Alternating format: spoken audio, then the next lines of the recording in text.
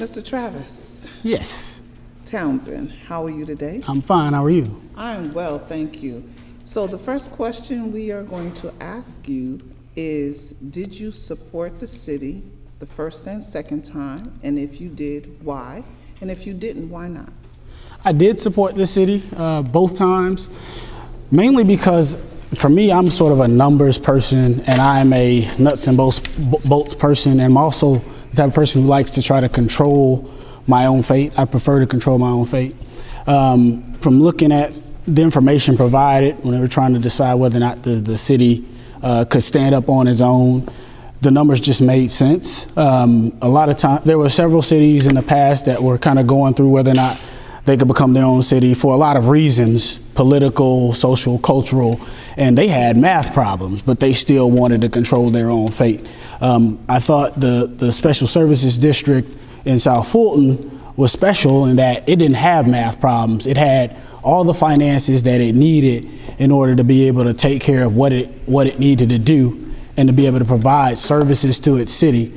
Um, I've been living here for 13 years. I came here in 2003 and I was looking for a neighborhood that reminded me of my hometown. I fell in love with uh, South Fulton, and having having been here, I've had ups and downs. I've had certain experiences. Um, I've had I've been a victim of crime, but I've also had some great experiences serving with my neighbors and families there. Um, I've had some utility problems, and I've also had great opportunities to just get to know folks around my neighborhood. And so I, I realized that um, we have what we need in our city from the people standpoint uh, to do what we have to do to take care of the things that we don't necessarily feel like are being serviced uh, as best as, as they could be. And for me, so it, it's pretty simple. If we got the, if the math works and I believe in the people, and I think if we have the right stewards in place, let's do it. I'd rather, I'd rather the people in the city, the closer to the city, have control over taking care of themselves um, than, than it being a little bit spread out. What city services were you alluding to that you've been having problems with? And if you have problems with those, that I'm sure other constituents do, how are you planning to remedy those problems? Well, for example, right now we're having a, on my street, there is a, we don't even know if it's a water main, there is a water pipe, something under the ground. Water's coming up and it has been running down the street for months. And me and my neighbors, we've contacted several different sort of departments and everybody's kind of passed the buck on it. And the neighbor that whose house it sits right in front of is really concerned because she's in and out of uh, town, so she can't really stay on it consistently to try to get it done. And that's one of those things where I think because we're a little bit disjointed and the people on the ground, you know, if, if it was a centralized mayor, uh, city, city council situation with our own services that we're, we're responsible for, it'd be a lot easier to run down who's responsible for it and to get it done. So what, where, where, where is this at? This is in Magnolia Walk subdivision. What district are you in? Uh, five, I think it's going to be five. Okay, well, what state State representative district? District? Fludd? Oh, you're in 64? Yeah. Yeah. Fludd, Fludd didn't run this last time. Okay. This is your new state. I'm sorry. That's Oh, good job. well, can I talk to you about that? Are you gonna be able to knock that out? though? it's a complicated one. It is, um, you know, I've had some people that that look, you know, they work on engineering and plumbing, and it's kind of it's weird. It, it is a the water's literally coming through the concrete. Okay. Let, let's, let's move on a little bit. The, um, now that we've gone through that conversation, what, what about a vision? I want you to kind of think four years down the road, okay? That's, you get a four-year term, so you, you've now completed your first term. Yeah. And you're about to give your State of the City address. What are you telling us I'm telling, um, in comparison to your vision? You have a vision, you've had four years to work towards that vision. Tell us what the vision is and what you've done to reach it. Yeah. So I'm celebrating a successful transition uh, to an to an excellent nationwide standard municipality. We transitioned from being a special service district uh, smoothly, on time, on schedule uh, by the November uh, uh, 2018 deadline, and we didn't have a lot of issues, hiccups, or glitches. The citizens who voted for the city are happy about it, and the citizens that were concerned about certain things uh, and didn't vote for the city have now become folks who celebrate it and support it. Uh, we're a unified city in that regard. With respect to some of the things that I'd like to have, I'd like to have us be the standard for international business. Our brand, the city is now branded as uh, the standard in the Southeast for international business.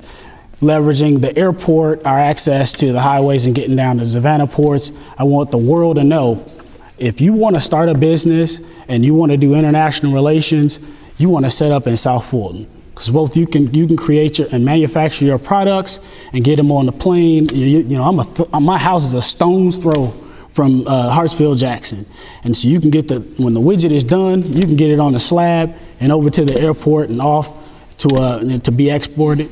If you are headquartered here in South Fulton and you do a lot of international business where you have to do face-to-face meetings and jump on a plane, South Fulton's where you want to be. You can get to an airport and be out of here and be on an international flight as soon as possible. So I'd love for us to be branded and people looking to relocate their headquarters in South Fulton because they want to be known as international. Uh, as international businesses, and this is the place to do it. Uh, I'd also like to celebrate either the construction, uh, decent prog- progress on the construction of a first rate, streamlined healthcare system. Um, I believe that we have a huge healthcare need in the city of South Fulton. Um, but contrast that with sort of a, the huge consolidation of healthcare systems and, and hospitals. Uh, I'd love for us to have something that has learned from those things, um, has has been intelligent in developing a way to provide care. Maybe it's a, it spends a lot of its energy and time on preventative care, on advanced care, healthcare education.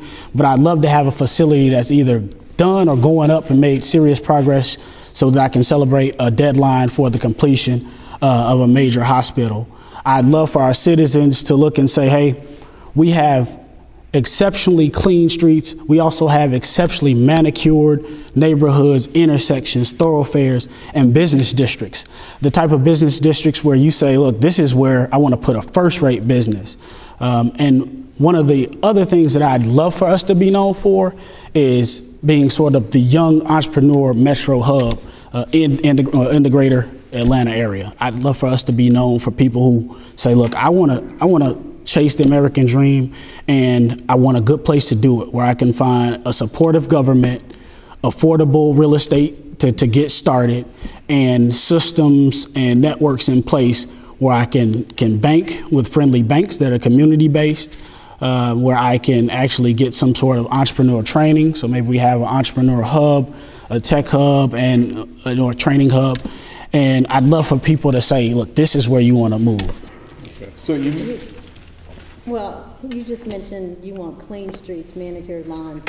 Um, South Fulton has problems with dumping, um, with trash services. That's going back to your services question.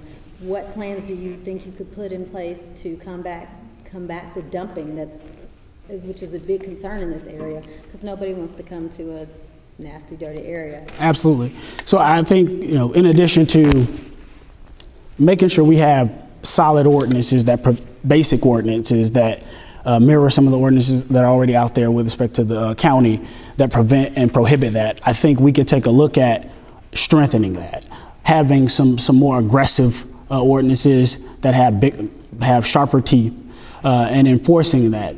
Maybe incentivizing the citizens to encourage reporting, uh, incentivizing citizens to to be involved without putting themselves at personal risk. Because a lot of times, you know, we can stretch our, our law enforcement, we can stretch our our representatives, our our government authorities and individuals who work on that all the time. But I think we need to figure out creative ways to get citizens involved because a lot of that stuff happens. People are not paying attention. Um, people don't know where it is. And so if we got eyes out there, both uh, officers and citizens, I think we can do a better job of sort of bringing that type of situation down. Um, so you mentioned transition a couple of times in response to Representative Bruce. I'm just curious, what are three or four um, activities that will be part of your transition plan to ensure a smooth transition from the county to cityhood? So, my, my background is is business law, contracts. And most everything that, that works is going to make this thing go from a, a special services district to a, a operating city is going to be contract based early on. Um, and so for me, I would love to, I would be very aggressive, as aggressive as the transition team will allow me to, as early as, uh, as early as possible, to get involved in and get up to speed on sort of the things that they're ta- talking about. Um, us having the, the government having a sign, the city council and the mayor having a sign on day one. So I'm, I'm aware of what's happening. I can think about some of the things, maybe even, you know, not to step on any toes, but maybe have some input or some su- suggestions. But I want to be well ahead of that so that the day that we are authorized to act on behalf of the city, uh, we can do that. And so with respect to transition, our, our actual ordinances, we got to have, we got to have laws. So we're going to have to have something that says, look, this is these are the rules. Everybody assumes that because we have a city and there'll be a council installed and there's a mayor that it happens, but there are mechanics that makes that happen. So I'm about the mechanics. So I want to make sure we have our, our ordinances trans- transition, we have our, our laws transition. I want to make sure that we actually have the things in place that say, okay, this is how the law enforcement is going to deal with the city of South Fulton. So if there's an intergovernmental agreement, we have that, we've reviewed that. Um, same thing with fire and rescue. All of those things are going to be priority. Before we do some of these bigger things that I hope to celebrate at the end of uh, the four years, I want to make sure that the day that we hit the switch, everything that, that people need, the necessities, are ready to go. We've signed them up. Um, and and that, that is sort of that is the thing I'm going to focus on with respect to the transition. So when you say necessities, though, give, I want to, I just want to get more granular. Yes, sir. What do you mean by necessities? What in particular accounts you have set up? With who? With what entity to do what? So, you know, you got to have your, just like you got to have utilities in your home, you're going to have to have your utilities. We're going to have to have our gas and our electric. So, working with the power authorities to ensure that whatever whatever franchise taxes, whatever arrangement we have to have to make sure they're collecting, we're getting paid, um, they have access to to whatever thoroughfares or utility lines or anything in, in leases, all of that's in order. So those things need to happen so that our citizens don't have any shortages of power or, or gas or electric. Same thing with the water, water system. You got to have water, you got to have your basics. So those things have to happen. So I want to make sure that we don't leave anything, uh, you know, any T's uncrossed, any I's not dotted with respect to the things that you need to wake up, bathe, take care, feed your kids, heat up formula, you know, serve formula to your babies, things like that. Uh, we got to have that in place. We also got to have law enforcement. You got to have your law enforcement. You can't have even two minutes of anarchy. You know, if you don't have a, a situation in place or an uh, understanding of how the law enforcement is going to come over the minute it's time, that's a problem. That's too that's too long. If it happens in five minutes, that's too long. Literally, somebody could commit a crime within that five minute window. If you don't have ordinance, you don't have law enforcement. Who knows how it's supposed to get taken care of? And even after the fact, say we get everything in place, you know, dealing with litigation based on contracts that don't get done or executed in funny time, you can have a you can be in years disputing who's supposed to clear, clarify that. So we want to make sure none of that happens. Um, fire and rescue, similar situation. Uh, we need to have those things in place. And then we want to look at, you know, our roads, um, making sure, you know, if there are any major road issues, uh, we- we've already looked at that and have a plan for taking care of that after we do sort of those basic utilities, fire, rescue, uh, law, ordinances, and law enforcement. Where do you intend to, um, open an office up for the, for the city to start? I mean, you have any ideas? I- Uh, Where you gonna put a contract on what? So there's a couple of things. To the extent that in the short term, I think it's easier and easier for the, the people who work uh, in, in a government authority position that will soon be a city of South Fulton government authority position or a city worker. I, it's easier to try to come up with some sort of lease opportunities for with the facilities that they're already housed in for a transition period. I think that'll make it easier for people trying to travel from home, uh, their commute. They have a lot of things that they've already set up arrangements around their life, fa- family life. So I think to try to keep things as simple as possible early on during the transition period, try to come up with lease arrangements uh, with the county to use space that they're already using.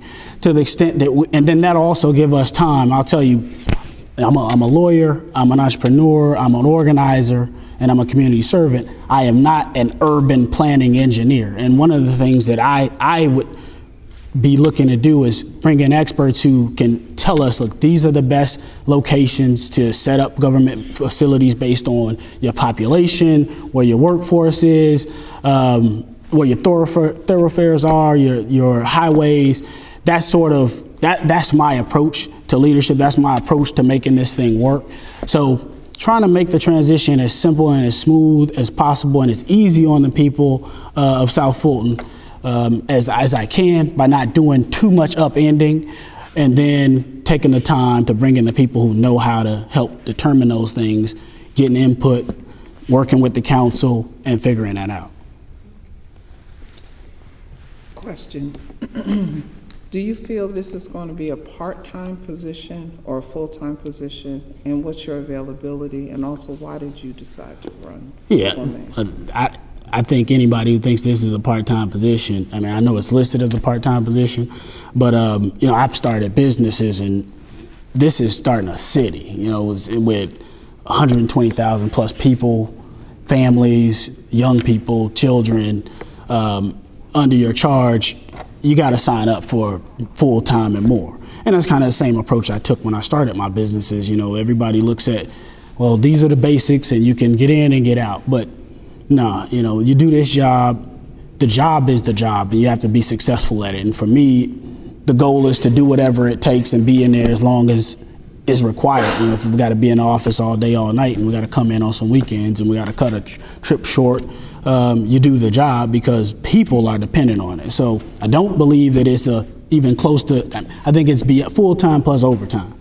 Um, one of the reasons why I became an entrepreneur was I was working long hours at you know a, a major law firm here in the southeast, and you know you work those hours and you're there all day, all night, weekends, nights, and you have very little control over your life.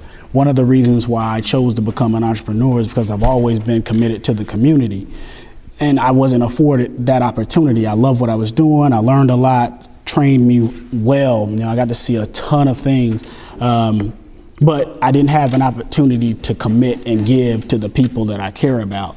And so my flexi- I mainly started my businesses so that I could have the flexibility to pour into my community and my family. And so I have the flexibility because I've created a life that affords me that intentionally. Uh, and the reason why you know, I'm running for mayor. You know, when I moved, I, I mentioned this before. You know, I came here in 2003 to start my legal career, and I got a, I needed a place to live. I got a real estate agent, and she took me down to Midtown and some Morningside and some of the trendy, new trendy neighborhoods, and told me, you know, this is where all the young hotshot lawyers and consultants live, and you'll love it. Great nightlife, bars, um, all of that. And it was, you know, it was hot, it was interesting, um, but it just, it was missing some important elements for me. Um, I didn't see any neighborhoods, I didn't see any families, I didn't see any people that looked like me or young people that I could pour myself into. Um, so, you know, I told them, let's stretch this search out. And then we went out west, out 20, and I started to get a little bit warmer as to what I was looking for, but it still wasn't quite it. It just didn't have the right feel. And so we went over to Decatur, the cab area, and got a little bit warmer, and it was looking a little bit more like what I wanted, um, but it still wasn't quite it. And then we came down south and came off Old National Highway, made a left over there, and I remember there was a Mexican restaurant. It was packed, and it started to, started to tingle because it reminded me of a, a, spot from home. And then we went around past World Changers, and we came around and uh, turned in Magnolia Walk subdivision where I'm at. And as soon as I moved, it, turned in that subdivision, I knew that that was the place I wanted to plant my roots. Um, it was the community I was going to live in. You know, I saw saw parents out there that looked like my parents. I saw young people that looked like me, reminded me of me when I was coming up, and I saw no street light placement. You know, like them street lights that I had to beat home lest I get beat. So it was home. You know, it, it was it was immediately home, and you know, I, I planted myself in there. I put a basketball goal up in my neighborhood. Uh, so that the young people that I saw coming back and forth when they were out of school, they would have somewhere to play ball or do something safe uh, when they were unoccupied, because we all know what young people do when they got unoccupied time. Um, so, you know, that, that's who I am, and, and I, I would spend time talking to those young people playing ball about their future, about education, um, about choices. I humble myself and let them know about my shortcomings and my mistakes, and you know that, that that I was the same person as they are. You know, when they when I was their age, so that hopefully they believe that they could grow up and be successful and be responsible adults and business people and parents loving parents. And having that experience, just sort of, I grew to love the city of South Fulton and the people in it. I got to know them. I got to to really just care about. It. And Okay, let's move on. but the city, oh, okay. Does that answer the question? Yes. Okay, okay. No, I just, I, I want to make sure I You kept- answered You it. kept going there. Okay, I'm sorry about that. But one, one of the things that we wanted to find out too, the, we have, um, the city is, is gonna be predominantly African American. Yes, indeed.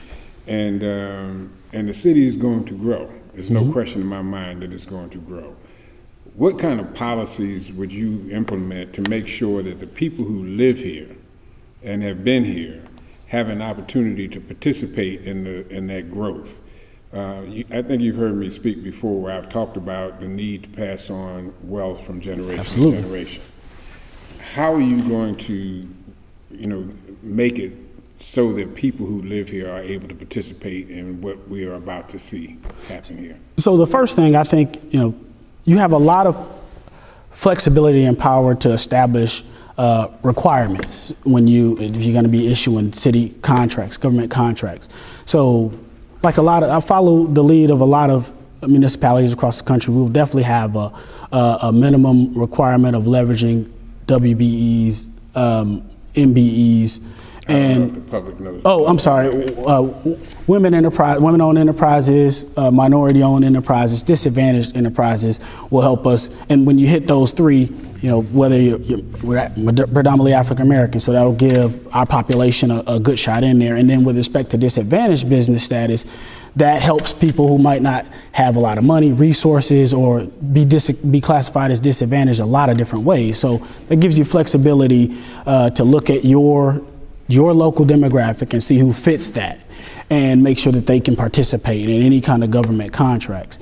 Um, but having, so being a business owner who's who's benefited from that and who's also worked in looking at diversity policies before, one of the things that I find is even though you have those policies, there are oftentimes just a shortage or even, or whether a stated shortage of talent or capabilities, capacity to fulfill those needs. So I think the city should be respond. So that was, that was my point. I think we need to establish intensive, aggressive training to make sure that our population and, and give give advantages to our, our population. If you're a South Fulton uh, resident, you can participate in these trainings uh, either at free of free charge free of charge discounted charge relative to anybody else who might want to participate in these trainings um, heavy marketing to our citizens to make sure they know about them um, figure out ways to get them to them so that we can increase their capacity their capabilities and make sure they are lined up with the exact opportunities we're trying to create um, th- those things i've seen i've seen um, work i think those things are also sort of cutting edge with respect to making sure that you can direct opportunities to the people you serve. Okay. So, uh, um, how would you, um, work with the population? We're getting ready, well, we're not getting ready, we're releasing people out of prison. Yeah. Okay? And, um, back in the day, we used to do programs in another, the state I'm from, where the people would, uh, work, you know, while they're on parole for different entities, uh, the city, the state, and whatnot. Or you could, um, like even with the federal government, if a person cut grass for five years, he can get a contract with the federal government and do that. But they have to show that they're able to maintain. So would you be willing to do some type of program so when, when these people come home to unincorporated South Fulton, uh, it'll be a mechanism in place where they can even just cut grass.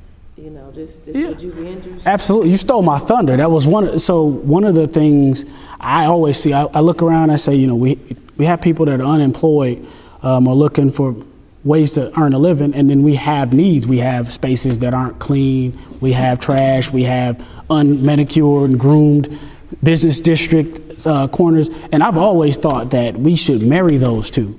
Um, and so, with, whether you whether you're a reentry from incarceration or not, but definitely reentry from incarceration, I think those are that's low hanging fruit, and I, I want to do that. To me, so absolutely, that's going to happen.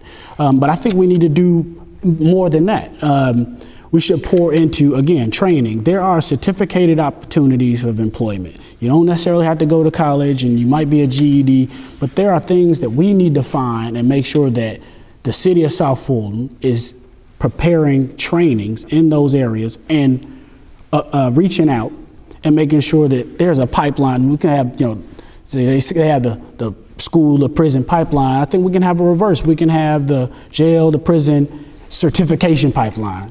Um, I'd, I'd love for people to understand that, you know, they, they seem to do pretty well in South Fulton with reentry. I'd love to be the standard. Um, I think, so, so to answer your question, absolutely, that is something that I'm, I'm huge on. You know, I'm, we have to increase the enforcement of crime um, of, of our laws, and we have to do better that way. But we also have to provide support systems and prevent crime and prevent people from thinking they need to have to commit crime. So you're going to the crime, what would you do? What type of plans do- would you put into place to decrease the response time by the police officers? Right. So I think in the short term, we actually have budgeted, the county has budgeted the opportunity to increase the number of law enforcement agents that we have. We just haven't filled the positions, and I understand it's difficult kind of vetting and, and rolling it out. But the first thing I would do is is meet with the police chief and find out sort of what do you have that you need to fill and what is your plan? What is your recommendation for identifying training people to get these you know to the extent that we have budget let's make sure we, we get that. We take care of that. We get every police officer that we have budgeted we need to get them out. There's there's no reason to actually have allocated funds to increase the force and not, and not use it. But i do understand that you know that's something that law enforcement leadership needs to take the lead on. They are the people who knows uh, what they need. So that that would be the first thing: finding out how how many more officers we can add. Uh, additionally, you know, so that's that's sort of increasing bodies out. The more bodies you have, the faster.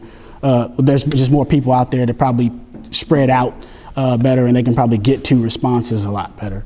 Um, I don't know the law enforcement systems as far as the dispatch and, and how, whether it's antiquated, whether it could be streamlined or anything like that, but I would love to have an assessment of that to make sure that we're using state of the art sort of dispatch, call in, uh, follow up, reporting, record keeping. Uh, and if, it, if, it, if there are technological solutions that we can probably deploy that will help us get faster, then, then we can do that as well.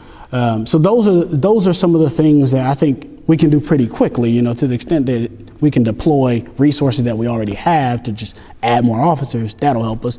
And then systems. A lot of times you can make really significant changes just by looking at systems that you've been operating under and tweaking things here and there. So since you did touch on um, the budget, you understand we have, we've been functioning under our current budget. Yes. What is your feeling about the budget? Do you think that budget is adequate enough to take us into the new city? And what would you do differently, or how would you increase? Well, I'm a, I'm a firm believer of, like I said, I think we've done well. I mean, our the way we operate, we operate uh, not completely autonomous, but we service a lot of our our needs through our tax base and through the things that we generate already. So I do think we're in good shape there. Um, and so I think our budget is good, and I think you know we'll have a few things that will allow us to increase um, the budget or the revenue at least. Um, so I, Like what?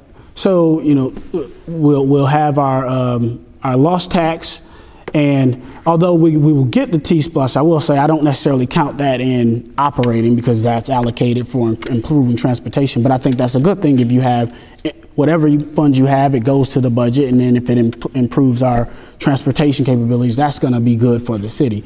So ultimately, just numbers wise, the, the budget is going to get it's going to get bigger uh, than it was. So I was just speaking sort of in that regard. Um, but I think you know when you start attracting businesses, and you we also have a huge opportunity to attract more residents uh, to increase our tax base. So I, th- I think we have we're in good shape, and I think we have a lot of opportunity to continue to grow our tax base and increase our, our revenue. You had a question? Yeah, I wanted to go back to, um, you said you had put up a basketball goal Yeah. in your subdivision. What plans do you have to create more programs for the youth? And how do you plan to utilize the Parks and Recreation Absolutely. system that we have? So um, I, I'm a big program, after school program, or pro, school supplemental program person. So one of the things you're only limited, you're limited in what you can do through the school system. So that's one of the reasons why I'm huge in that. Um, so my, my intention would be to find our weaknesses in performance and proficiency at school and to sit down with educators, educational consultants, and come up with a strategy that will allow South Fulton to supplement any whatever power it has to supplement the, educa- the education uh, pro, the education setup that we already have. So whether that be, you know, extending school quasi by having opportunities that incentivize parents to bring their kids to the next, the, the- I would call it maybe the, the fourth, you know, the, uh, the four and five o'clock hour. And so school ends at three or so, or two thirty or three, and then they can come come to a program that the city sets up that's the fourth, and the four and five and six o'clock hour, and maybe work with the parents to make sure that they are encouraged to bring their students uh, and have have programs that help with the basics. I also think that, and we can leverage, we can leverage the facilities that we have. We can leverage our parks, our recreations, um, to to facilitate those, to be the spaces in which we do that. Um, so, I would, you know, still fleshing this out, but I would love to create an environment where we take control over supplementing our education system in the city of South Fulton by adding maybe a couple of hours um, of additional education, tutoring, and things like that. So the city, excuse me, so the city of South Fulton is geographically fragmented Yes. uh, due to annexation, as we all know. Um, what would you do in terms of activities to give the, the, the city that feeling uh, of, of oneness or wholeness when you have these seven districts, um, you know, Yeah. basically decentralized? Well, one of the things is I think that we'd have to get with a, a amazing urban planning situation where we can determine a good city center, whether it be you know city center, and say, okay, we're going to focus here for maybe our retail district, our business district, the attractive spot that it's going to draw people to. You know, so after you go home, um, you come home from work or you come home from school, it's a place that is, uh, whether it's central, but it's a place that is designed properly, intelligently, that will say people will want to come, whether it be Which, which shop. district is that?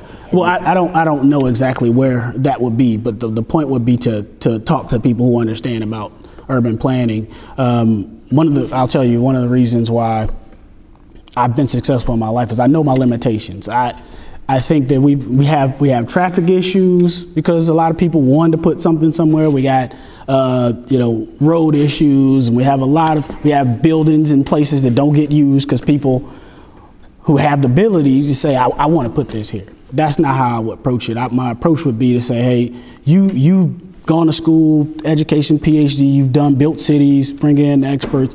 Tell me, based on our population, our fragmentation, our plans to maybe bring in and do some annexation ourselves. Um, where should we put this center? Because we want people No- to come. No more room for annexation. This is it. All gone?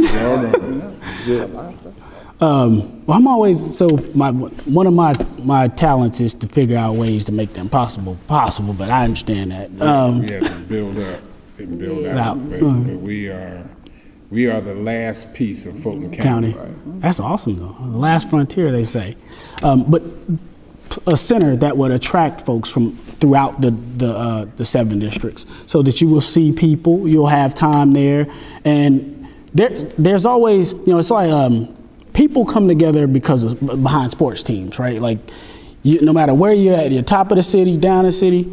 Um, right now, you know, I don't care if you South Fulton, you Gwinnett, you a Falcon, um, Falcons fan, and it doesn't have to always be sports. But if you have something that people can look to and claim as their claim to fame, um, really strong, well known, known outside of here, that's what brings people together. So if you have a space like that, that's well known, that's functional, that's enjoyable, I think that helps bring and commit community throughout the seven districts. Talking about like an entertainment center? Well, it doesn't have to be just an entertainment center, um, but I think entertainment is important to it. I think um, entertainment, shopping, um, it might have a, a, a component of of civic activity, civic engagement, all of that. I think something that brings the different types of people with their different interests, and they have to come in those spaces. Um, yeah, I think that that'll that'll do something to help sort of galvanize us. You, you're a lawyer, so I'm gonna ask you a legal question, okay? Um, I'm assuming that you've read the charter for our city. Uh, what changes, if any, because it's gonna be our responsibility, once the city council and mayor, um, they re- review the charter and they come back and they say, we need to make this change, that change. Based on what you know now, what changes, if any, do you think needs to be made? Well, it's, it's interesting, and this is probably against my own interest, but I do know that um, we got seven districts and we got eight voting. mem- You know, right now it's set up so that the mayor votes, and um, you know, typically I, I do I create charters, and I don't like having even votes. So um, I don't I don't I don't I like to have some sort of um, clear You delineation. wanna address that? Well, I can tell you now that that is being addressed and you, it is being publicized on Wednesday and Thursday Okay. so that the public will know that that change is coming this session. And Gotcha. I'm carrying that bill. Okay. Well, that was yeah. Well, that'll again. You guys are stealing all my thunder. Um, um, I had I hadn't that kind of just stood out to me, um, and mainly because it was one of those things where, you know, I had to think about what's best for the city and the position I'm running for, and that's why it's top of mind. But I hadn't thought about a whole lot of the other position, uh, the, the other provisions in that regard, in regards to what I would change. Um, but I, I definitely would take a look at it now that you know you raised the issue. But Okay. Any other, I do have one. So what do you think about outsourcing? And do you, if it, if it becomes necessary? Uh-huh. Say if you have, you look at the budget or you look at a particular service and we're paying currently five hundred thousand mm-hmm. for that service. And then you look at, you do research and you see that we can get the same service for two hun, three hundred thousand. Mm-hmm. Would you consider outsourcing? Um, so, to the extent that we can keep our people employed, our citizens employed, and in charge of managing the city of South Fulton, I, I lean there first.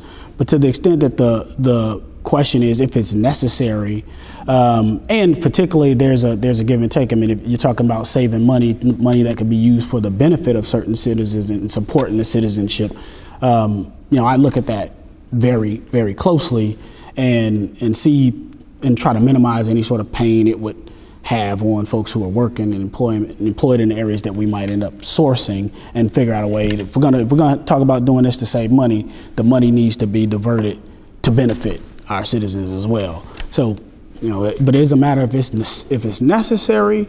Um, you know, if it's necessary, is necessary. But you know, I, I lean towards taking care of the city and trying to make sure that the citizens are taken care of and they can do what we got to do. all right, Thank you. anything else? Appreciate it, man. All right, now. We're gonna Thank you take for a your pic- time. We're going over here and take a picture. Okay. You- Don't forget you still